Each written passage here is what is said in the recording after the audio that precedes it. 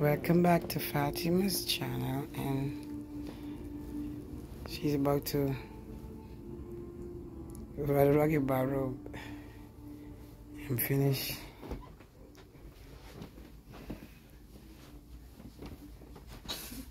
I don't know what this girl is doing but